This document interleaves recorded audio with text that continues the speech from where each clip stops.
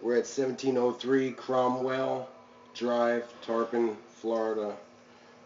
Uh, we're going down 4 inch toilet flange because it is pouring outside, so I didn't want to go on the roof with lightning and rain. Um, so we'll go down the toilet flange and see if there's any obstructions in the sewer line.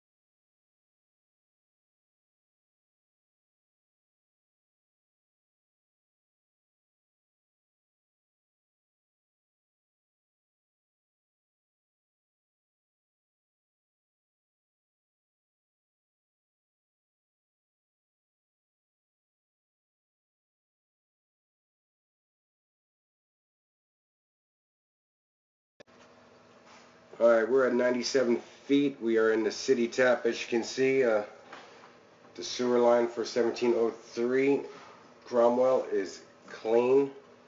No obstructions in the pipe, except for a couple cockroaches. But that's about it. Looks good. I'll pull it back one more time slowly so you can see it again.